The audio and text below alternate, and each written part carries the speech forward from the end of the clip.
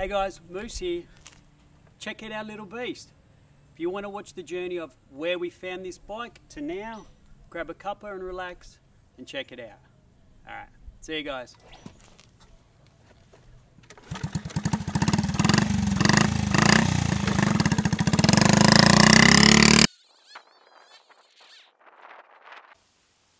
Sawdust and chrome. Sawdust and chrome.